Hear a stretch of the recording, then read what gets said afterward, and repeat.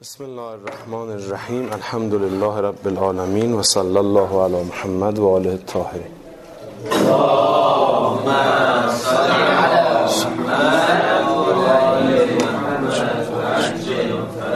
خب من هفته گذشته یک حدیثی رو عرض کردم از کتاب مرحوم شیخ صدوق به نقل از امام باقر علیه السلام در مورد تکلم موسی بن عمران با خدای متعال. بخشی از این روایت رو مطرح کردم. بخش دومش رو که ادامه این روایت هست امروز عرض می‌کنم و انشالله جلسه آیندهمون بخش پایانی روایت رو عرض می‌کنم. موسی علیه السلام در ادامه سوالاتی که از خدای متعال داشت عرض کرد که الهی فما جزاء من صبر عند المصیبه و انفذ امرک. خدایا پاداش کسی که در هنگام مصیبت صبر کنه. و دستور تو رو اجرا بکنه چیست؟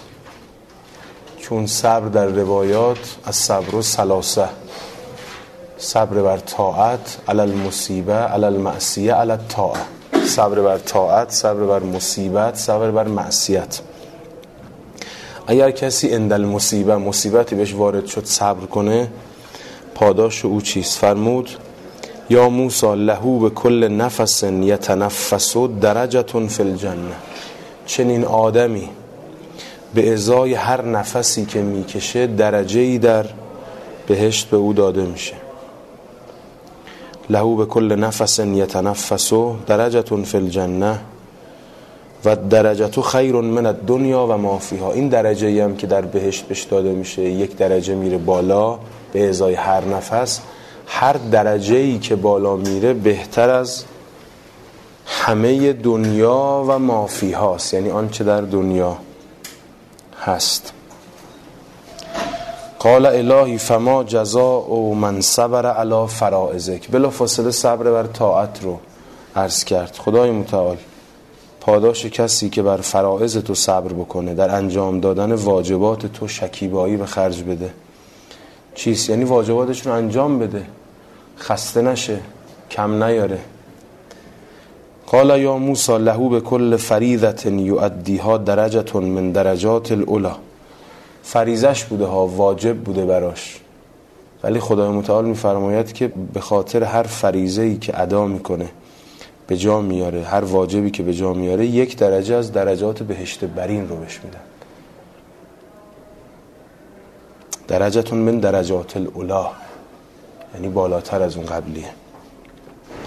قال الهی فما جزاء من مشا فی ظلمت اللیل الی طاعتک. خدایا پاداش کسی که در تاریکی شب به سوی طاعت تو قدم برمیداره چیه؟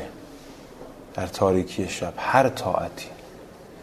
این نشون میده طاعتی که موقعی که مردم خوابن ولی این بیداره طاعتی که خیلی نمی‌فهمن این انجام میده. کار مردم را میندازه به فقرا سر می‌زنه.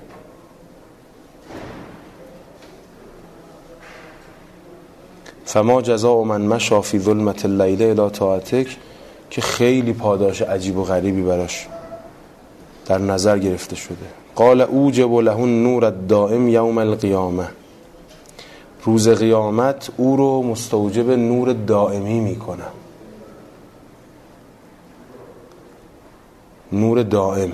ان له من الحسنات بعدد كل شيء مر عليه سواد الليل و ضوء النهار و نور الكواكب به تعداد هر چیزی که به شماره هر چیزی که تاریکی شب روشنایی روز و نور ستارگان به اون می‌رسه برای این آدم کار نیک و کار خیر و عمل صالح نوشته میشه در صحیفه عملش. این از خدای متعال بعید نیست. هیچ استبادی نداره. کسی یه عملی انجام میده برای ما کوچیکه. در نزد خدای متعال و میزان عملم بزرگ نیست ولی خدای متعال اون عمل رو بزرگ میداره. و همه چیم دست خودشه. مقالید و سماوات و الارض دست اوست. آسمان و زمین مطویات به یمین اوست. هر چه بخواد به بنده خودش عطا می‌کنه. هم که سرچشمش اوست عطا می‌کنه. قال الهی فما جزاء من لم یکف عن معاصیک. کسی که از معاصی تو خودداری نکنه سزای او چیست؟ اینجا دیگه نمیگیم پاداشش این جزا سزاست. کسی که دست از معصیت بر نداره. قال یا موسی اعتیه کتابه به شمالهی من وراء زهره. نامه اعمالش رو از پشت سرش به دست چپش میده. یه موقعی کسی میاد میگن آقا این نامه عمل شما دست راست دیدم نامه عمل شما به دست چپش میده.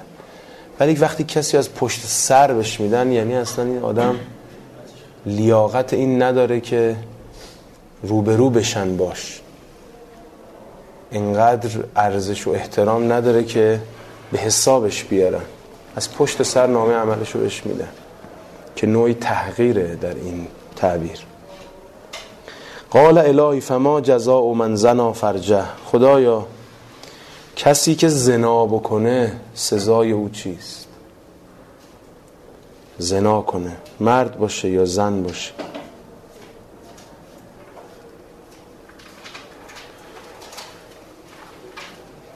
که هی دارن قبه این گناهان رو میریزن در جامعه. شما دیگه رسانه امپراتوری رسانه ای قبهش داره ریخته میشه.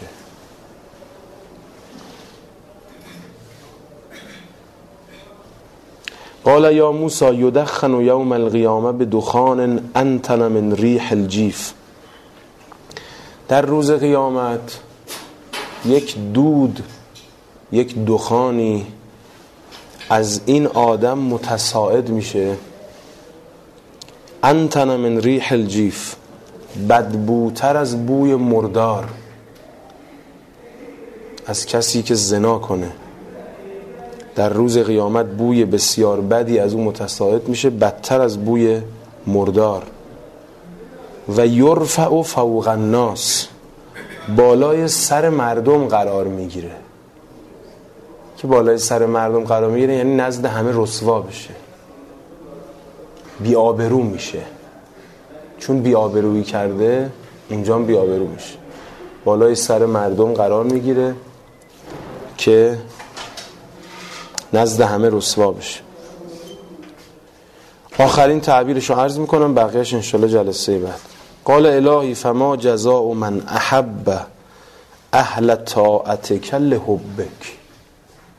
خدایا پاداش کسی که اهل طاعت تو رو به عشق تو دوست بداره چیه؟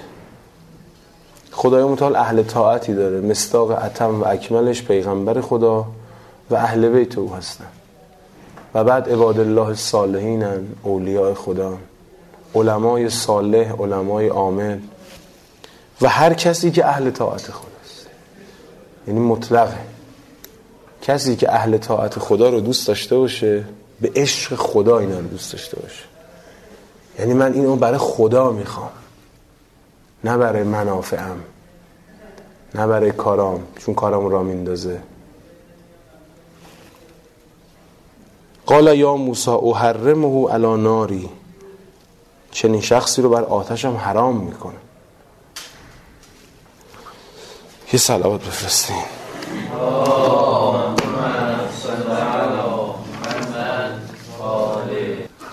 خب ما در ادامه بحث که بررسی احادیث بود سه دسته فقط حدیث باقی مونده. احادیث خلافت احادیث ولایت و احادیث امارت. ما امامت رو جلسه قبل بحث کرد احادیث خلافت رو خیلی مختصر عرض می‌کنم با سه آیه قرآن کریم و دو یا به عبارتی سه حدیث بسنده می‌کنم و وارد بحث بعدی میشه معنای لغوی خلافت از ریشه خلفه هست. ببینید ما الان احادیث اسمت رو بحث کردیم. احادیث سقلین رو بحث کردیم احادیث علم احادیث وراست احادیث منزلت احادیث وسایت احادیث هدایت احادیث امامت دسته دهم میشه احادیث خلافت. این دهمین دسته است که ما داریم بررسی می‌کنیم از احادیثی که مربوط هستند به جانشینی امیرالمؤمنین. مر پیامبر اکرم را. ریشه خلف معنای جانشینه و جانشین ساختن. خلیفه هم به معنای جانشین قائم مقام و وکیل در لغت آمده. جمعش هم که خلفاس و خلائف. در قرآن کریم هم به همین معنا به کار رفته. یعنی در قرآن کریم به همین معنای جانشین و قائم مقامه. سه نمونه از قرآن کریم عرض می‌کنم آیه سی سوره مبارکه بقره آیه 26 سوره مبارکه صاد آیه 69 سوره مبارکه اعراف که نمونه از این دست هستند. آیه سی سوره مبارکه بقره و اذ قال ربک للملائکه انی جائل فی الارض خلیفه. زمانی که رب تو به ملائکه فرمود که من در روی زمین خلیفه جانشینی قرار میدم قالوا اتجعل فیها من یفسد فیها و یسفک الدماء و نحن نسبه بحمدک و نقدس لک قال انی اعلم ما لا تعلم. آیه 26 سوره مبارکه ساد. یا داوود انا جعلناک خلیفتا فی الارض. ای داوود ما تو رو جانشین در روی زمین ساختیم جانشین ساختیم جانشین قرار دادیم. فحکم بین الناس بالحق. بین مردم به حق حکومت کن. ولا تتبع الهوا. از هوای نفسم تبعیت نکن. فیذلک عن سبیل الله. ان الذين يذلون عن سبیل الله لهم عذاب شدید. به ما نسو یوم الحساب. و آیه سوم که آیه 169 سوره الاعراف هست فخلف من بعدهم خلف ورث الکتاب.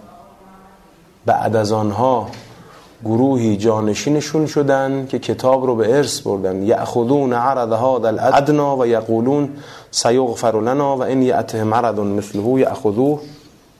الم یؤخذ علیهم میثاق الكتاب ان لا یقولوا علی الله الا الحق تا آخر آیه.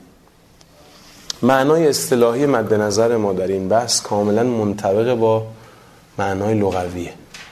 همون معنایی که در لغت اراده شده. اگرچه البته واژگان مرتبط با حوزه خلافت و خلیفه در فرهنگ اسلامی بیشتر به عنوان یک کلیدواژه سیاسی و بعضا برای معرفی جانشین خاص بعد از پیغمبر به کار رفته. خلیفه معنای جانشین داره و بیشتر به خلیفه یعنی جانشین بعد از پیامبر اکرم به کار میره. که بحث ما اصلا دقیقا همینجاست ما اصلا کار نداریم آیا در دوره های دیگر اسلامی اینا عنوان خلیفه بر اینها بار می شود یا نه. ما با امیر علی علیه السلام و حوادث بعد از پیغمبر و جانشینان بعد از پیغمبر کار داریم. حالا روایاتی که انتخاب کردیم دقیقا مراد پیغمبر اکرم از استعمال این لغت رو روشن می‌کنه. چون در بیان پیغمبر اکرم به کار رفته این عنوان. من دو روایت رو عرض می‌کنم. احادیث زیاده در این موضوع. احادیث زیادی در مورد خلافت است. در مورد تمام این ده سنف حدیثی که من بهش اشاره کردم و امروز دارم می‌کنم به عنوان مورد دهم یعنی احادیث خلافت احادیث زیادی هست در منابع ما که به مناسبت بحث من از بین اونها انتخاب کردم. در یکی از این احادیث که به نقل از معجم الکبیر تبرانیه تبرانی یه معجم الکبیر داره یه معجم اوسط داره و یه معجم صغیر داره. تبرانی. از محدثین اهل سنت یه پایان نامه هم در دانشگاه خودمون راجع به روش های حدیث پژوهی تبرانی کار شده. در عمالی شیخ توسی و شیخ مفید هم این روایت آمده که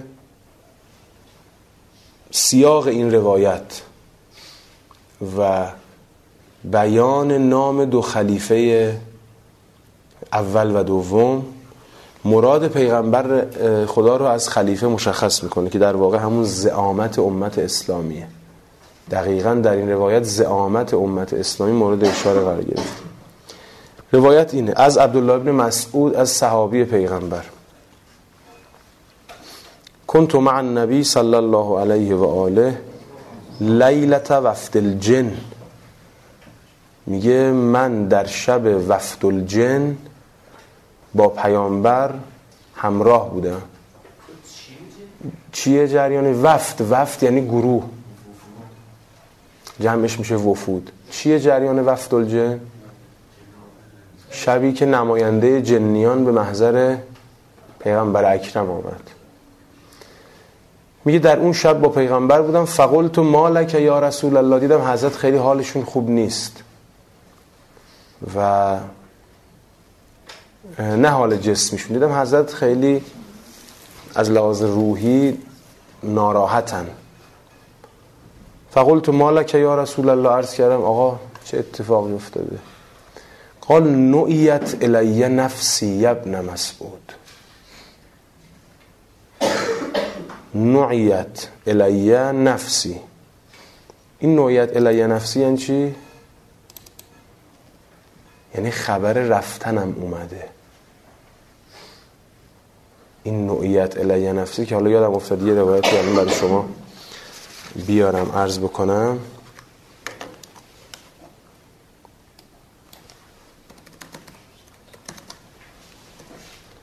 این تعبیر رو من الان دیدم بیاد یه روایت دیگه افتادم. زیاد داریم مراجع به اهل بیت به امیرالمؤمنین هم داریم که حضرت اسبق ابن نباته میگه خطب انا امیر المؤمنین فی الشهر الذي قتل فیه. حضرت در همون ماه رمضانی که شهید شدن برای ما خطبه خوندن اسبق ابن نباته. فقال اتاکم شهر رمضان و هو سید الشهور و اول السنه و فیه تدور ره السلطان. الا و انکم حاج العام. صفا واحدا و آیت ذالک انی لست فیکم. من دیگه پیش شما نیستم. قال فهو ینعا نفسه و نحن لا ندری. داشت خبر از شهادت خودش می‌داد و ما نمیفهمیدیم متوجه نبودیم. در مورد امام حسین علیه السلام هم که من این مد نظرم بود ظاهرا در شب آشوراست که حضرت طبق نقل سید ابن تاووس و جلس الحسین یسله و سیفه حضرت نشستن مشغول اصلاح شمشیر شدن یعنی آماده کردن شمشیر در حالی که آماده می‌کردن شمشیر رو حالا یا غلامشون یا خودشون این شعر رو میخوندن که یا دهر افل لک من خلیلی بد دوستی هستی ای روزگار. کم لک بالاشراق و الاصیلی من طالب و صاحب قتیلی و دهر لا یقنع بالبدیلی. و کل حی سالک سبیلی هر زنده ای مسیر خودشون میره به سمت مرگ. ما اقرب الوعد من الرحیلی چقدر اون بانگ رحیل و کوچ کردن نزدیکه و انما الامر الى الجلیلی که راوی میگه قال راوی فسمعت زینب بنت فاطمه ذالک. زینب کبرا اینو شنید فقالت یا اخی هازا کلام من ایقن بالقتل. این حرف کسی که به کشته شدن یقین داره. یعنی زینب کبرا منظور حضرت رو از خوندن این اشعار که بوی خداحافظی میده گرفت و دریافت کرد. فقال نعم یا اختا. حضرت فرمود بله. فقالت زینب وا ثکلاه ای وای که ینع الحسین الیه نفسه.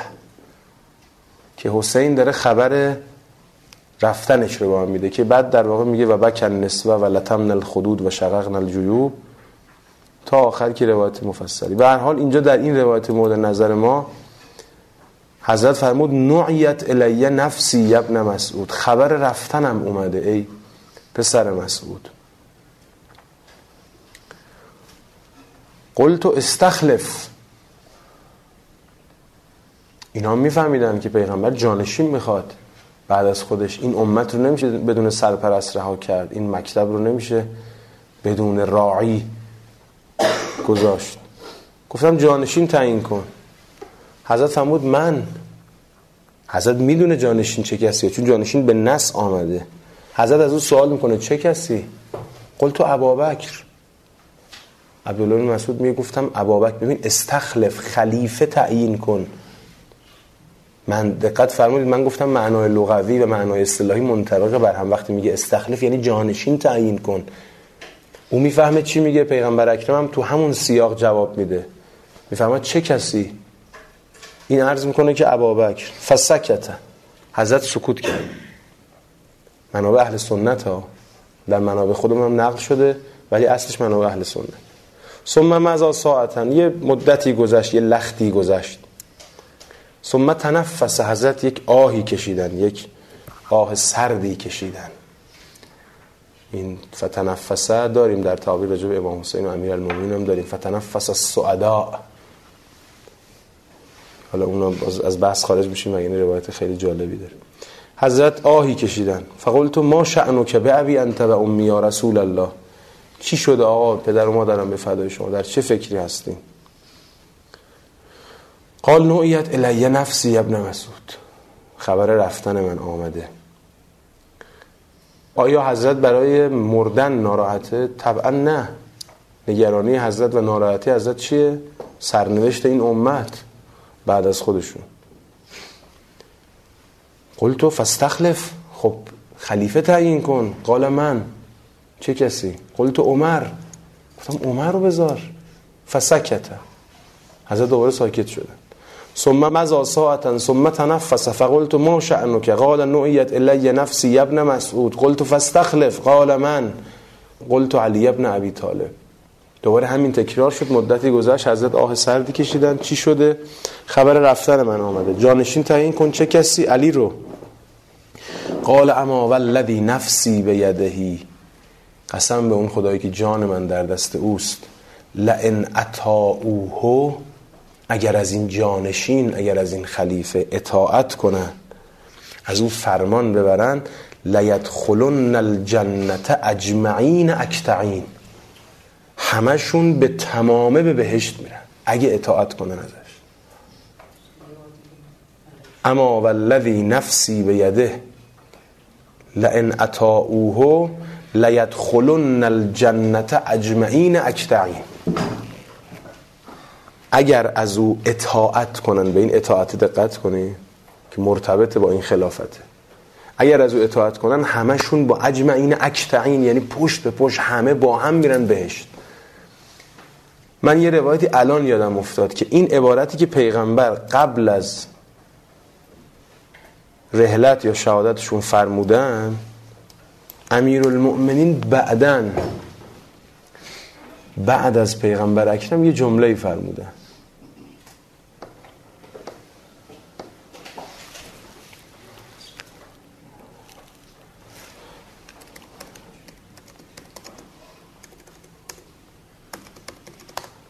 در نهج البلاغه است که امیر المومین در خطبه 156 در خطبه 156 حضرت فرمودن که فمن استطاع عند ذلك ان يعتقل نفسه على الله عز وجل فليفعل با این کار نداره.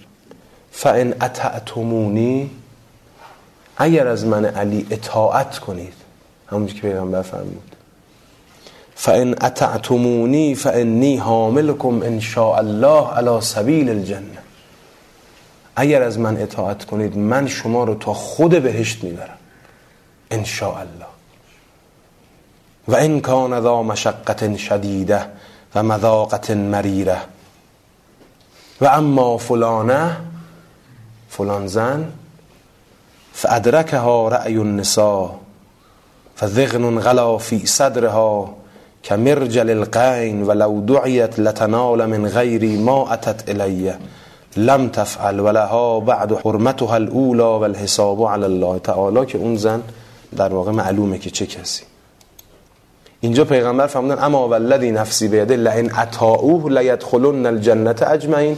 حضرت فرمود لئن اطعتمونی فانی حاملکم ان شاء الله علی سبیل الجنه یه روایت دیگری با همین مضمون هست من دیگه متن روایت رو نمی‌خونم از کتاب السنه ابن ابی آسم روایت قبلی رو خب عرض کردم. در موجم الکبیر تبرانی است. حادث دقیق رو عرض بکنم.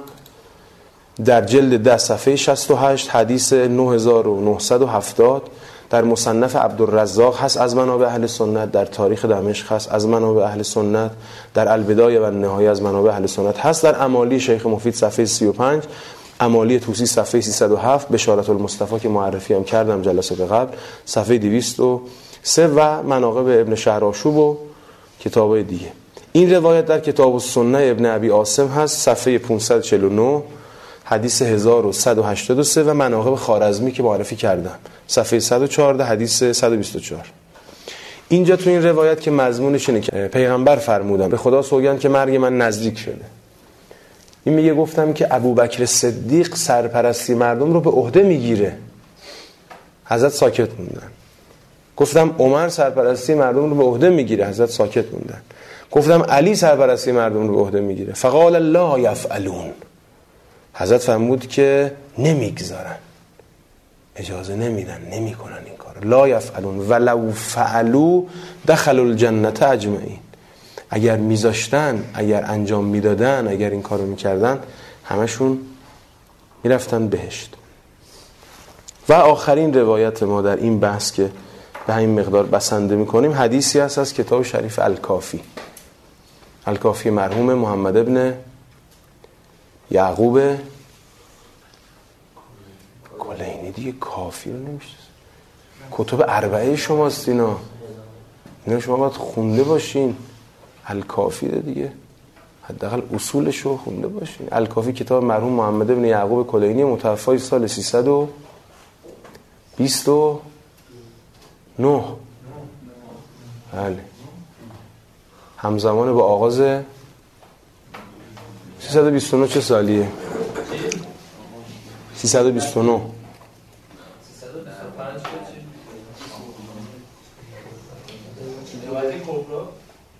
آغاز غیبت کبرا و درگذشت آخرین نائب خاص امام زمان علیه السلام. مرحوم کلینی صاحب یکی از کتب اربعه شیعه. کتاب دوم چیه؟ بعد از الکافی. من لا یحضر الفقی از مرحوم شیخ صدوق محمد ابن علی ابن حسین ابن بابوی قومی معروف به شیخ صدوق. متوفای 381 شما که حزب هاشین شما که متدینی هاشین شما که درس خوناشین مثلا. ولی خود شما هم الان می‌دونید که مثلا لیگ دست دو ایتالیا وضعیتش چجوریه؟ دست یکش چیه مثلا؟ ال کلاسیکو مثلا چی؟ نه می‌دونید علم لاینفه زیاد دارین شما. اینا مفاخر شیعه هم. گفتم براتون داستان یادتون میاد؟ گفتم یه شیخ صدوق. همینجا تعریف کردم. گفتم مردم شیخ صدوق نمی‌شناسن. یارو گفت از پیشگامان نهضت امام خمینی گفت من با دختر شیخ صدوق از طریق واتساپ و تلگرام در تماسم گفتم حالا خوب معرفی کردم شیخ صدوق. شیخ صدوق. نفر بعدی کیه؟ متوفای 400 و 450 مرحوم نجاشیه. 460 صاحب کتاب تهذیب الاحکام و الاستبصار فی مختلف من الاخبار. اینا رو از صوت حذف نکنین که سندی باشه در تاریخ.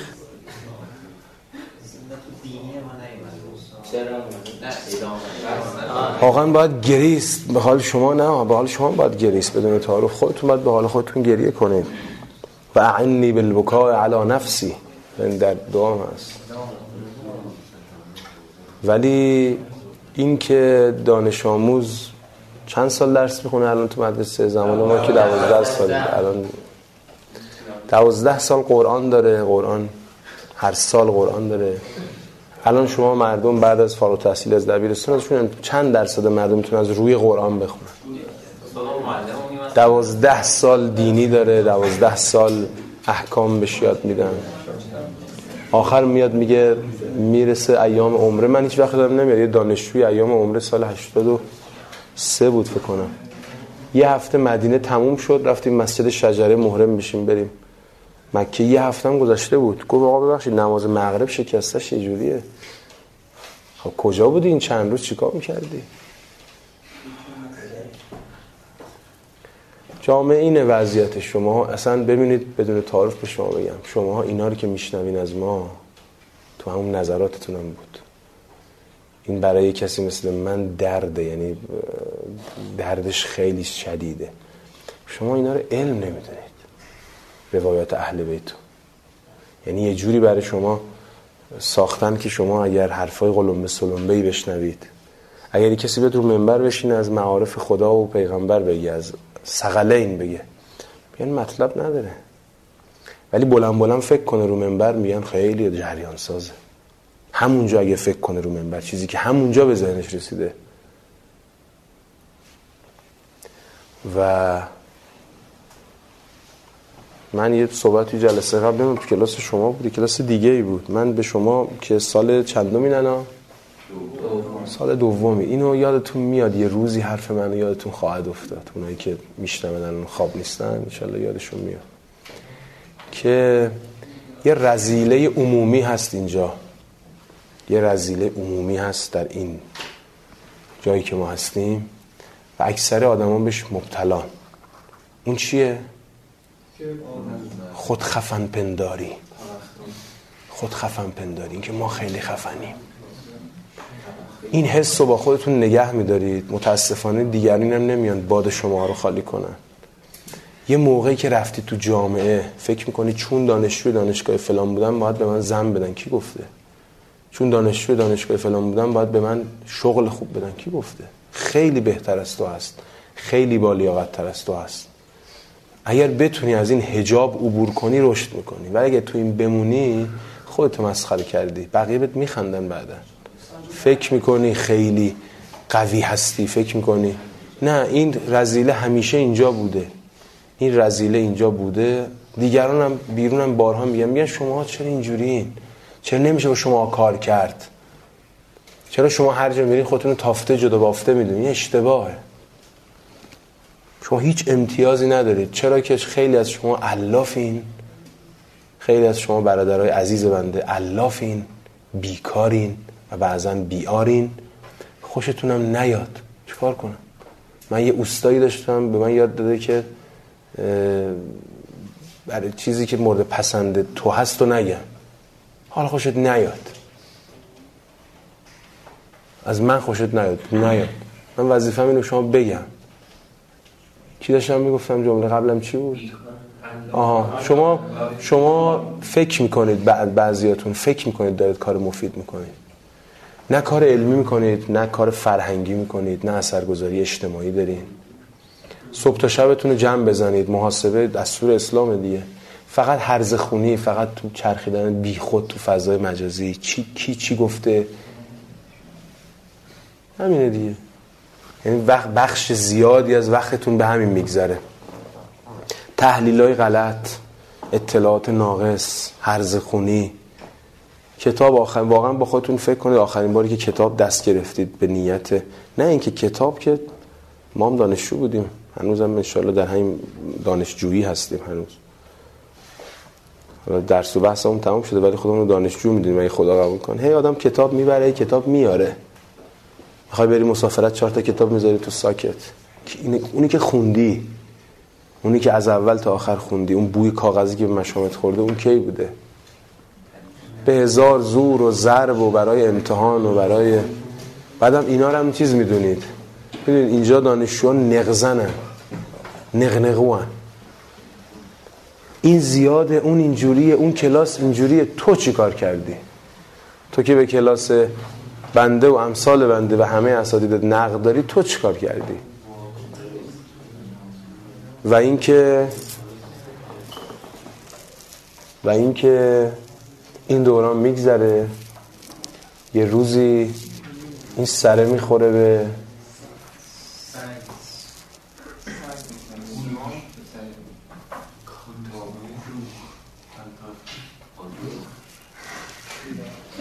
تاثیر ما داریم چی میگه بله مرحوم کلینی یکی از صاحبان کتب اربعه شیعه است. بله. بله می‌دونم. می‌دونم حسن چیکار کنم در حدیثی در واقع که منقول از خود امیر المؤمنینه مراد از خلافت به خوبی روشن شده. روایت در کتاب شریف الکافی هست جلد 8 صفحه 26 حدیث چهار. جابر ابن یزید از امام باقر علیه السلام.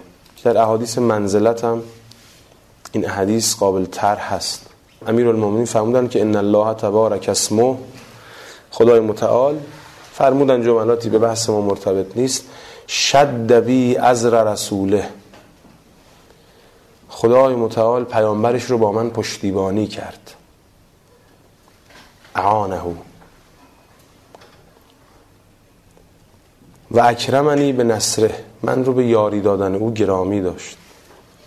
و شرفنی به علمه. خدا من رو با دانش پیغمبر شرافت داد.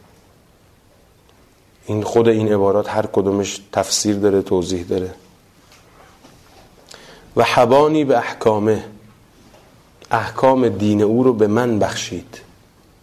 به من بخشید یعنی من شدم مجری احکام. من هستم کسی که در واقع نماینده خدا هستم برای اجرای احکامش. وقتصنی به وصیته. تنها من رو به وسایت پیغمبر خدای متعال ویژه کرد و ویژه ساخت. وستفانی به خلافت هیفی امته. این مربوط به خلافته. برای جانشینی در امتش من رو انتخاب کرد استفاع کرد برگزید. فقال صلی الله علیه و آله و قد حشده المهاجرون و و انغصت بهم المحافل. پیغمبر در یک مجلس انبوهی از مهاجر و انصار فرمود ای مردم ایها الناس ان علی منی که هارون من موسی. علی برای من به منزله هارون برای موساست الا انه لا نبی بعدی. جز این که بعد از من پیامبر نیست که عبارات نزدیک به این در احادیث دیگر رو در احادیث منزلت گفتم. فعقل المؤمنون عن الله نطق الرسول. مؤمنین به یاری خدا سخن پیغمبر رو فهمیدن دریافتن. مؤمنینشون. اذ عرفونی انی لستو به اخیه لعبیه و امه. چون مؤمنین فهمیدن تیز بودن فهمیدن که من نه برادر نسبی پیغمبرم از پدر و مادر ما یکی نیستیم. کما کان هارون اخا موسا لعبیه و امه. اونجوری که هارون برادر موسا بود و از پدر و مادر مشترک بودن که من اینجوری نبودم. اینکه پیغمبر اینو فرمود که ان علی منی که هارون من موسی من رو مانند هارون قرار داد برای موسی. اهل فن آدم حسابی ها می‌دونستن که من برادر پدر مادری پیغمبر نیستم برادر دینیشم. ولا کنت نبیا فقتدا نبوتا و نه من پیامبر بودم که نبوتم اختزای این معنا رو بکنه. هارون پیامبر بود. ولکن کان ذالک منه استخلافا لی این جمله امیرانو خیلی مهمه. آنچه از سوی او صادر شد جانشین کردن من بود. و یعنی من که برادر نسبی پیغمبر نبودم نبی هم نبودم. کم استخلف موسی هارون علیهم السلام. همون جوری که موسی هارون رو جانشین خودش کرد. پیغمبرم من رو جانشین خودش کرد. کجا موسی هارون رو جانشین خودش کرد که حضرت در این روایت به این آیه اشاره کردن که اخلفنی فی قومی. جانشین من در بین قومم باش.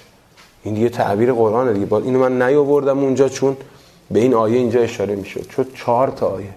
اخلفنی فی قومی و اصلح. اصلاح کن اصلاح کن ادای اصلاح در نیار. اصلاحگری عین ایمانه اگه واقعی باشه. ولا تتبع سبیل المفسدین. اصلاح کن ولی اگه بخوای از راه مفسدان پیروی کنی دیگه اصلاح نیست. از راه مفسدین پیروی نکن که آیه سوره مبارکه اعراف آیه 142 این بحث ما راجع به موضوع احادیث خلافت و صلی الله علی محمد و آل طاهرین اللهم صل على محمد.